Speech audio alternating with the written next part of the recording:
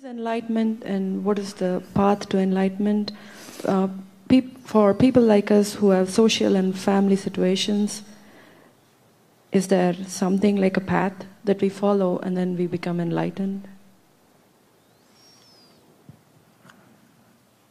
That's, uh, you learn the art of asking question, three in one questions. what is enlightenment? What can I say? I wish I could find words for that.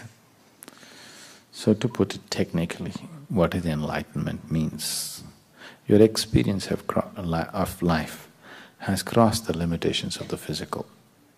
Dimensions beyond physical have come into your living experience, moment to moment.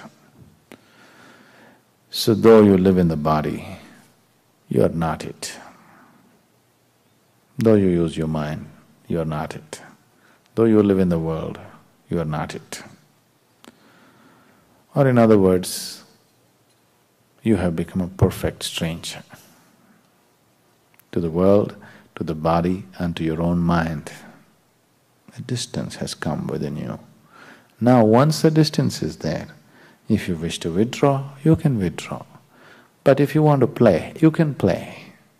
Because anyway, there's no danger of getting caught up with the world or with your mind, or with your emotions, or with your body, once there is no danger, you want to play, you can play any kind of game, isn't it? So, enlightenment is a certain freedom. Freedom which releases you from the very process of life and death. How do we get there?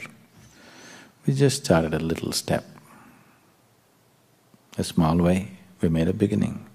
But the first step is always the most significant step.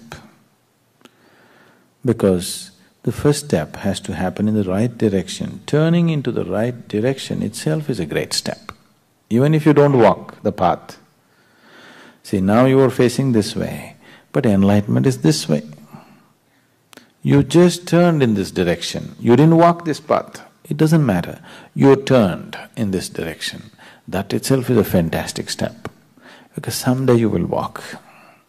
You're bound to walk, isn't it? Either you walk out of your own intelligence or you walk because life bites you very badly. when life bites you very badly, then you'll say, what the hell is all this about? Which way out of all this? If you're intelligent, you will walk before life bites you.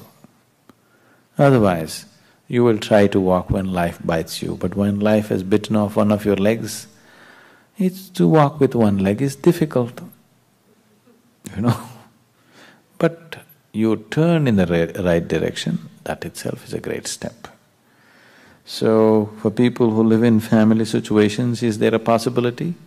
Your family has nothing to do with your enlightenment. Not your…